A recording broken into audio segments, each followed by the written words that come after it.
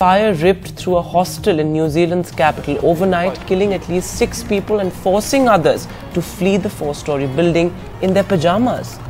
In what an official on Tuesday called his worst nightmare, 52 people in Loafers Lodge Hostel in Wellington had been accounted for, but firefighters are still looking for others.